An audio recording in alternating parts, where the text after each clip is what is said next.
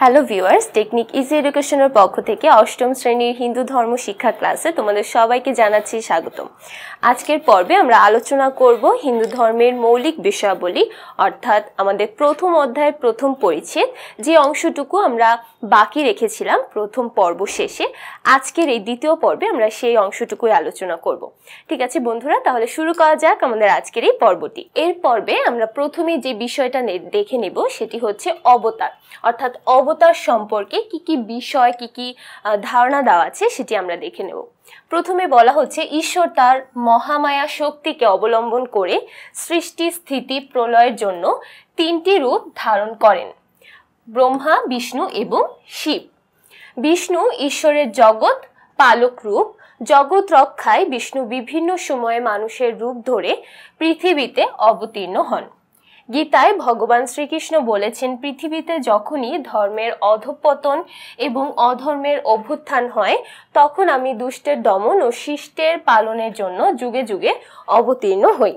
ঈশ্বর যখন ধর্ম রক্ষার জন্য দেহ ধারণ করে, দেহ ধারণ করে পৃথিবীতে আসেন, তখন তাকে বলা হয় অবতার। এখানে আমরা অবতারের যে সংজ্ঞা, অর্থাৎ অবতার বলতে কি বোঝানো হয়, সেটা দেখতে পেলাম। অবতার শব্দের অর্থ যিনি নিজের অবস্থান থেকে অবতরণ করেন। অর্থাৎ যিনি নিজের যে অবস্থানে রয়েছেন, সে অবস্থান থেকে যখন অবতরণ করে বা নিচে নেমে আসে, তখন তাকে বলা হয় অবতার।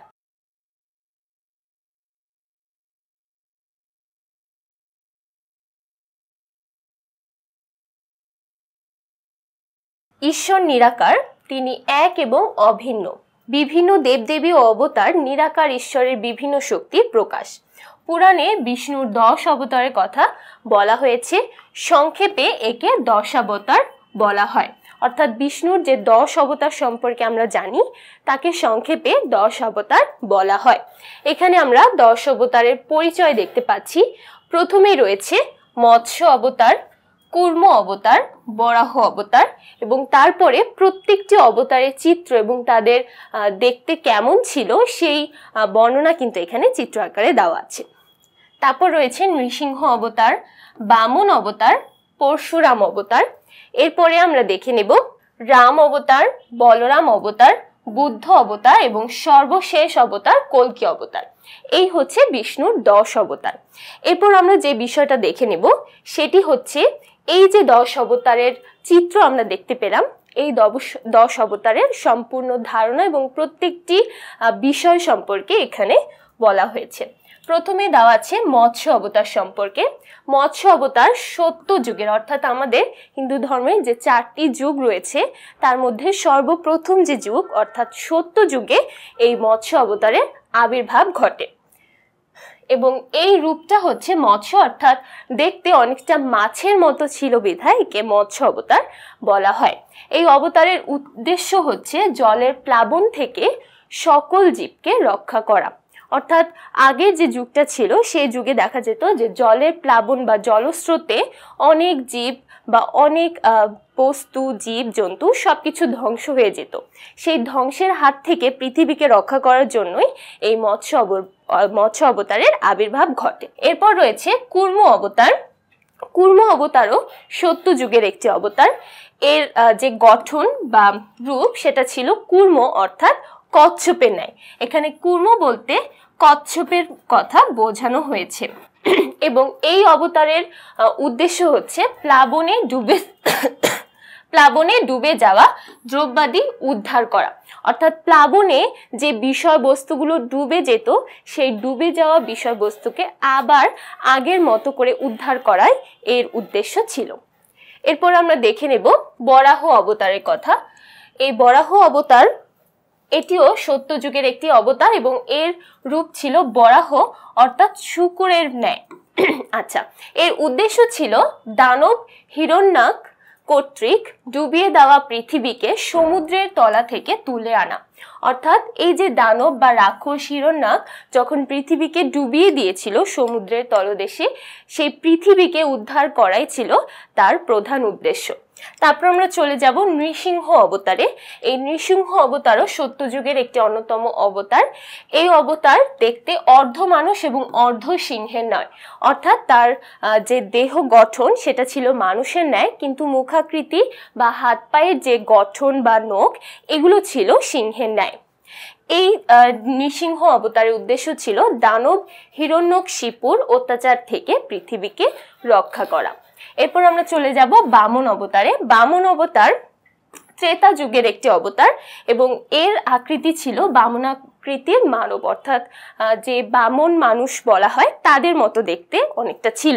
এই বামন অবতারের উদ্দেশ্য ছিল দৈত্যরাজ বলিকে দমন করে পৃথিবীকে রক্ষা করা।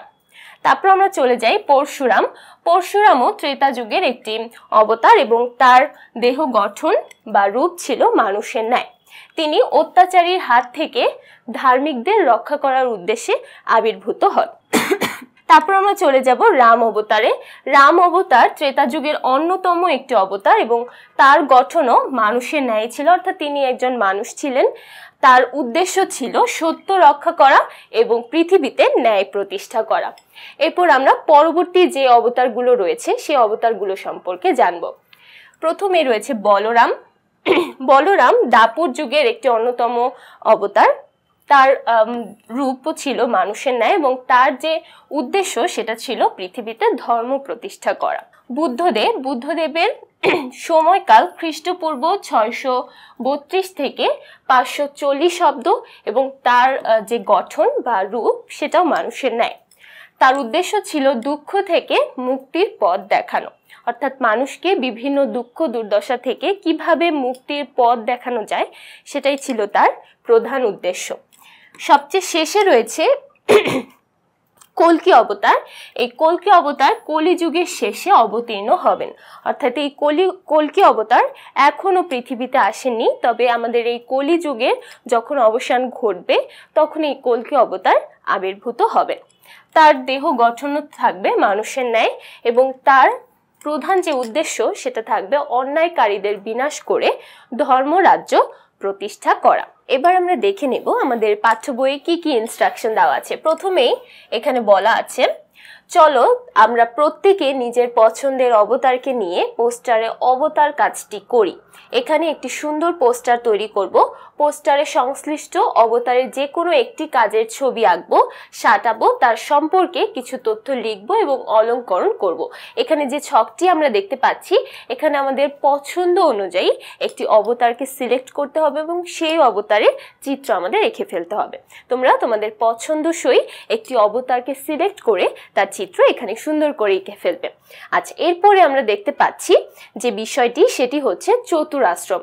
এখানে চতুরাশ্রমের চারটি বিভাগ এবং চারটি বিভাগে কি কি কাজ করা হয়, সেগুলো চিত্রর মাধ্যমে খুব সুন্দর করে বোঝানো আছে।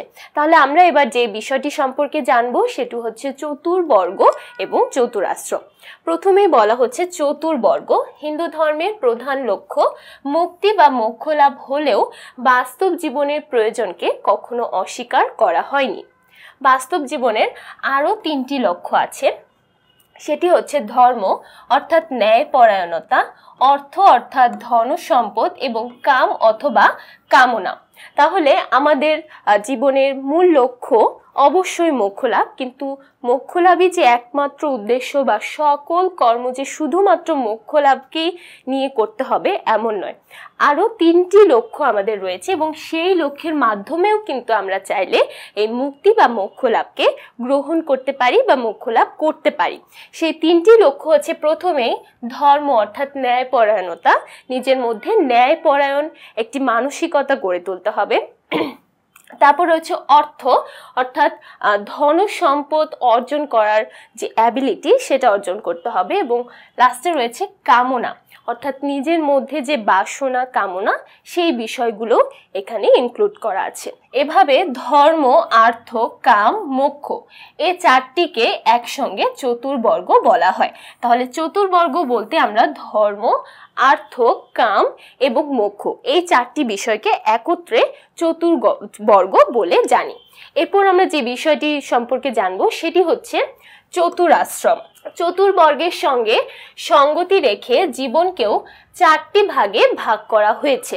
ভাগগুলো হলো ব্রহ্মচর্য, গ্রাহস্থ বানপ্রস্থ এবং সন্ন্যাস। অর্থাৎ আমরা একটু আগে যে চতুর্বর্গ সম্পর্কে জানলাম, সেই চতুর্বর্গর সঙ্গে সঙ্গতি রেখেই আমাদের জীবনকে যে চারটি ভাগে ভাগ করা হয়েছে, সেই চারটি ভাগকে চতুরাশ্রম বলা হয়।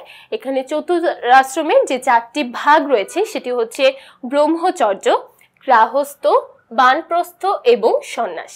এই হচ্ছে চারটি চতুরাশ্রম। প্রথমে আমরা যেটি সম্পর্কে জানব সেটি হচ্ছে ব্রহ্মচর্য।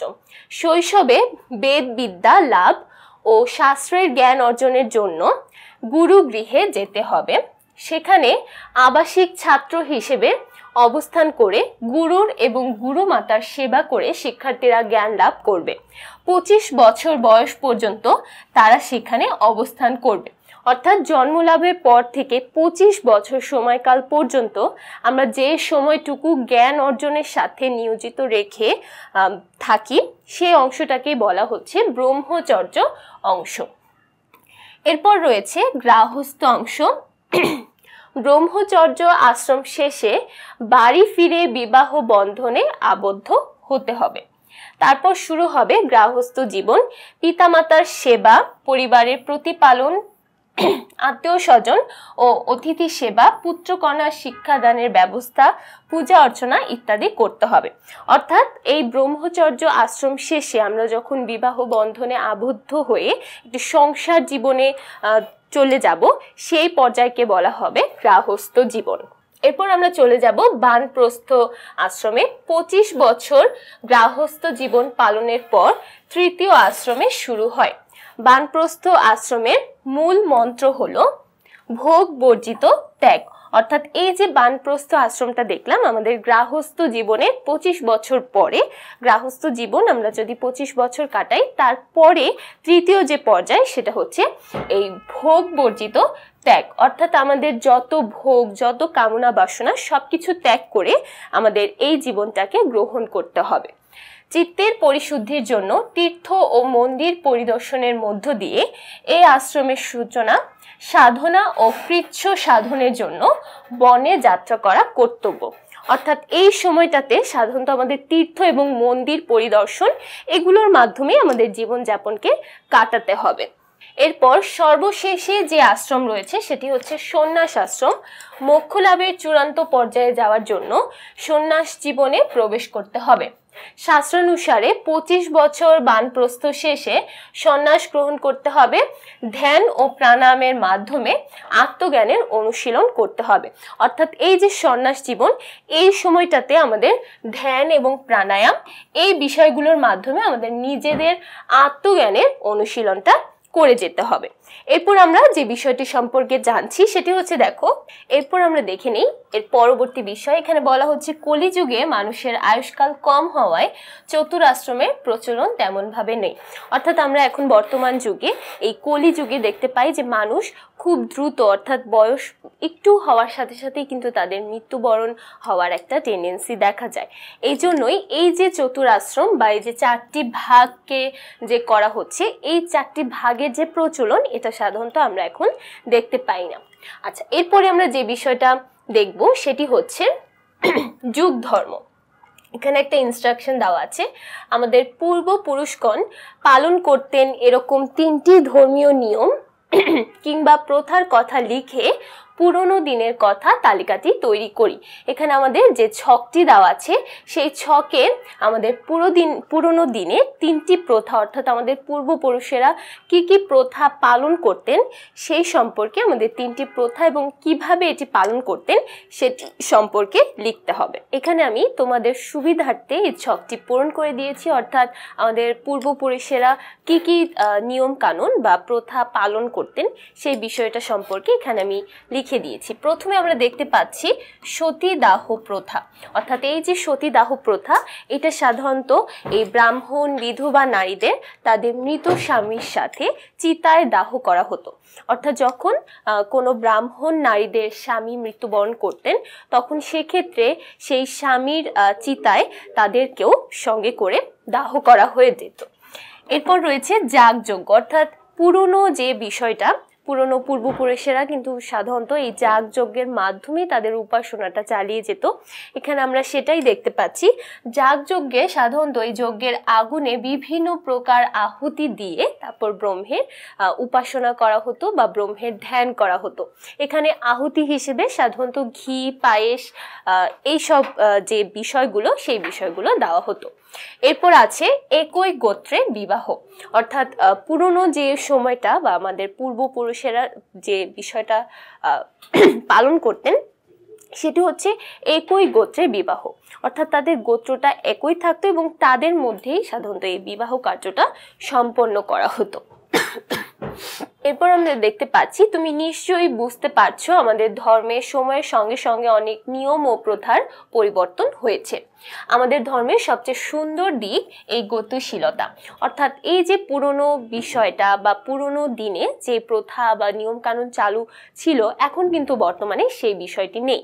বর্তমানে কিন্তু অন্যরকমভাবে আমরা আমাদের ধর্মটাকে পালন করে থাকি। সো অবশ্যই আমরা বলতে পারি যে আমাদের ধর্মের সবচেয়ে সুন্দর একটা দিক হচ্ছে এই গতিশীলতা। পূর্বে যে বিষয়টি ছিল, সেই বিষয়টি যেহেতু এখন নেই, অর্থাৎ এটা সবসময় একটা গতির মধ্যে থাকছে। যুগের সঙ্গে ধর্মের রীতিনীতি পরিবর্তনের কথা ধর্মেই বলা হয়েছে। হিন্দু ধর্মের গ্রন্থগুলো দুটো ভাগে ভাগ করা হয়। একটি হচ্ছে শ্রুতি এবং আরেকটি হচ্ছে স্মৃতি। শ্রুতি অংশে আছে বেদ এখানে আত্মার প্রকৃতি, ঈশ্বরের সঙ্গে আত্মার সম্পর্ক, সৃষ্টি তত্ত্ব ইত্যাদি বিষয় রয়েছে। এসব ধারণা চিরন্তনী। পরিবর্তনের সুযোগ নেই। এবং স্মৃতি অংশে রয়েছে বিভিন্ন স্মৃতিশাস্ত্র, যেমন পুরাণ। এতে জীবন চলার পথে প্রয়োজনীয় নির্দেশনা, নিয়ম এবং রীতিনীতি রয়েছে। কিন্তু একই যুগের নিয়ম কানুন আরেক যুগের নিয়ম কানুন থেকে সাধারণত ভিন্ন। যুগের সঙ্গে সঙ্গে প্রথা এবং নিয়মের পরিবর্তনকে যুগ ধর্ম বলা হয়। এখানে আমরা যুগ ধর্ম সম্পর্কে জানতে পারলাম। অর্থাৎ যুগের সঙ্গে সঙ্গে বিভিন্ন প্রথা এবং নিয়মের যে পরিবর্তনটা ঘটে, তাকে সাধারণত যুগ ধর্ম বলা হয়। শাস্ত্রে কোন যুগে কেমন ধর্ম হবে, তাও বলা হয়েছে। হিন্দু শাস্ত্রে সৃষ্টির শুরু থেকে আজ পর্যন্ত সময়কালকে চারটি ভাগে, ভাগ করা হয়েছে।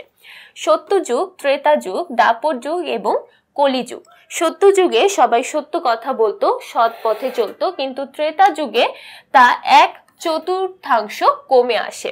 অর্থাৎ সত্য যুগে প্রত্যেকেই সত্য কথা বলতো, সৎ পথে চলতো, কিন্তু যখন সেই যুগটার পরিবর্তন হয়, অর্থাৎ ত্রেতা যুগ আসে, তখন সেই ত্রেতা যুগে এই যে সত্য কথা বলা বা সৎ পথে চলার যে বিষয়টা, এটা এক চতুর্থাংশ অংশ কমে আসে। পরের দুই যুগে দুই যুগেও সমান পরিমাণে কমে আসে। অর্থাৎ এই ত্রেতা যুগ থেকে যখন দাপর যুগে যায়, তখনও সেই এক চতুর্থাংশই কমে যেতে শুরু করে। এখন কলিযুগ চলছে, অর্থাৎ চতুর্থ যুগ। এই যুগের পর সত্য ফুরিয়ে যাবে। আবার নতুন করে সত্য যুগে শুরু হবে। এভাবে যুগ চক্র চলবে। অর্থাৎ এখন আমরা যেহেতু কলিযুগে অবতরণ করছি, এই কলিযুগটা যখন শেষ হয়ে যাবে, তখন আবার নতুন করে এই সত্য যুগের আবির্ভাব ঘটবে। মনুসংহিতায় এক এক যুগে এক একটি কর্মকে শ্রেষ্ঠ ধর্ম বলা হয়েছে। এখানে আমরা মনুসংহিতার একটি শ্লোক দেখতে পাচ্ছি, তপ পরং কৃত যুগে ত্রেতায়াং জ্ঞানমুচ্ছতে দাপরে যজ্ঞ মেবাহু দর্ণ মেকং কৌল যুগে। এখানে এই যে শ্লোকটা, এই শ্লোকটা সরলার্থ অর্থাৎ এই শ্লোকটা দিয়ে কি বোঝানো হচ্ছে সেটা আমরা দেখে নিই। সত্য যুগে তপস্যায় মানুষের শ্রেষ্ঠ ধর্ম, ত্রেতা যুগে জ্ঞানী শ্রেষ্ঠ, দাপর যুগে যোগ্য এবং কলিতে একমাত্র দানই হচ্ছে শ্রেষ্ঠ ধর্ম। অর্থাৎ সত্য যুগে তপস্যার মাধ্যমে আমরা যে ধর্মকর্মটা করতাম, সেটাই সেই সময়ে শ্রেষ্ঠ ছিল। তারপর ত্রেতা যুগে জ্ঞান অর্জন করা ছিল শ্রেষ্ঠ। দাপর যুগে ছিল যজ্ঞের মাধ্যমে ধর্ম চর্চা করা এবং কলিতে একমাত্র দানই হচ্ছে আমাদের শ্রেষ্ঠ ধর্ম। এরপর আমরা যে বিষয়টা দেখব, সেটি হচ্ছে হিন্দু ধর্মের মৌলিক জ্ঞান এবং ভিত্তসমূহ নিয়ে আমরা যে শিক্ষা প্রদর্শনীর আয়োজন করেছি, সেই প্রদর্শনী থেকে পাওয়া এমন একটি শিক্ষার কথা জীবন দর্শনে ছকে লিখি যা আমার জীবনে কাজে লাগবে বলে মনে করছি। অর্থাৎ এখানে আমরা এই পুরো অধ্যায়টার শেষে কি কি জ্ঞান অর্জন করতে পারছি, আমাদের হিন্দু ধর্ম সম্পর্কে কি কি ধারণা পেতে পারছি, সেই বিষয়গুলো থেকে আমাদের জীবন দর্শন, অর্থাৎ আমাদের জীবনে সেই বিষয়গুলো আমরা কীভাবে কাজে লাগাতে পারি, তারই একটি বিষয় এখানে তুলে ধরতে হবে। এখানে আমি তোমাদের সুবিধার্থে তিনটি বিষয় তুলে ধরেছি। প্রথমে যে বিষয়টি আছে, প্রথমে যে বিষয়টি আছে সেটি হচ্ছে, জগতের প্রতিটি কাজের উৎস হচ্ছে ব্রহ্ম। অর্থাৎ আমরা এই জগতে বসবাসরত অবস্থায় যে সকল কাজ করছি, যে সকল কাজে প্রত্যেকটা সময় নিয়োজিত থাকছি প্রত্যেকটা বিষয়, প্রত্যেকটা সময়ের একমাত্র উৎস হচ্ছে ব্রহ্ম বা নিরাকার ঈশ্বর। এরপর দ্বিতীয়ত যে বিষয়টি রয়েছে, সেটি হচ্ছে মোক্ষ লাভ অর্জন করাই আমাদের একমাত্র লক্ষ্য।